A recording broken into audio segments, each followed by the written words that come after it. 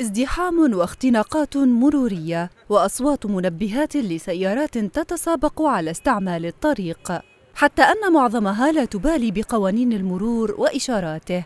هذا المشهد وأشباهه صار يخالط أجزاء من العاصمة في الفترة الأخيرة.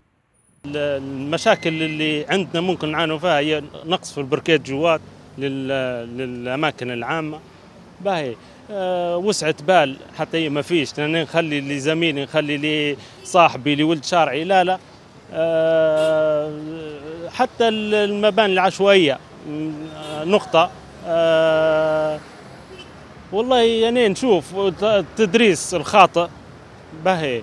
أه تقصير نوعا ما لرجال المرور. ولو إن نشكروهم وفي الظرف هذا واللي يعانوا منه.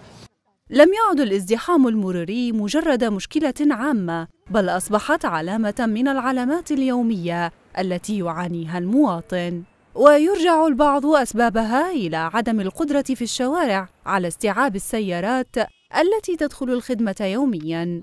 السبب هي هي هي سلبية المواطن، يعني مفروض يحترموا نفسهم ويقدر كل حد الثاني يخلي طريق للثاني والكبير يقدر الصغير يعني نسبة عدد السيارات زادت بحكم بحكم المهجرين وبحكم الناس كلها في ضغط على طرابلس. يعني صار عدد كثافة عدد السكان والسيارات والزحمة اللي صايرة يعني. ضعف التخطيط لمواعيد العمل الرسمي أحد أسباب الأزمة فوقت نهاية العمل هو نفسه في المدارس والمصالح الحكومية حتى القطاع الخاص.